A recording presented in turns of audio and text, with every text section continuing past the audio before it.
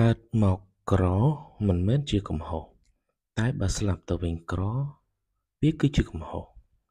មនុស្សយើងមិនអាចរើសកន្លែងកើតបានទេ កើតមកជាមួយគ្រួសារក្រីក្រ ឬគ្រួសារមានបាន គឺ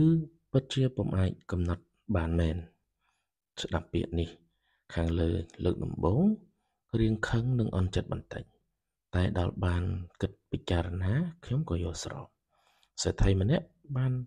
ស្លាប់ពិតជាបានរកស៊ីពីក្រទៅមាន តែគាត់អាចរករហូតក្លាយទៅជាសេដ្ឋីតែអ្នកខ្លះពុំអាចធ្វើបានដូចគាត់